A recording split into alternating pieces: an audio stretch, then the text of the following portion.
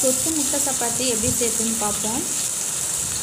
Pan காய வச்சு ரெண்டு ஸ்பூன் ஆயில் விட்டாச்சு.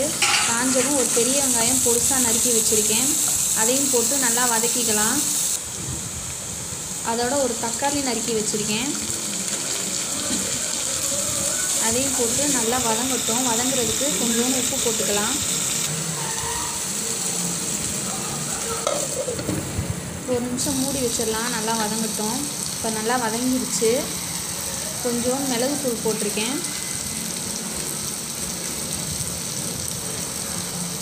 அதோட ஒரு ஸ்பூன் அளவு சிக்கன் பொடி போட்டுக்கோங்க. நான் இந்த பிராண்டு தான் போடுறேன். நீங்கள் என்ன பிராண்ட் யூஸ் பண்ணுறீங்களோ அதை எது வேணாலும் போட்டுக்கலாம்.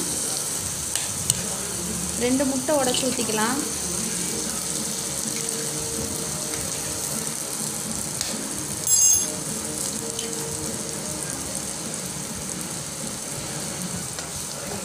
நல்லா கிளறி விட்டுக்கலாம். நான் ரெண்டு சப்பாத்தி கையில் பிக்காமல் மிக்சியில் போட்டு லைட்டாக அடித்து வச்சுருக்கேன். அதையும் போட்டுக்கலாம். இப்போ நல்லா கிளறி விட்டுறலாம்.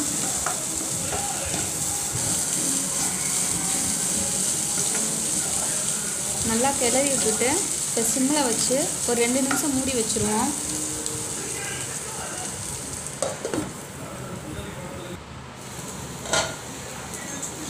இப்போ பார்க்கலாம்.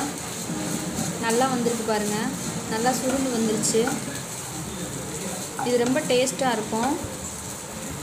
சப்பாத்தி மீந்து போனாலும் நீங்கள் இப்படி செஞ்சுக்கலாம். நீங்கள் செஞ்சு பாருங்கள்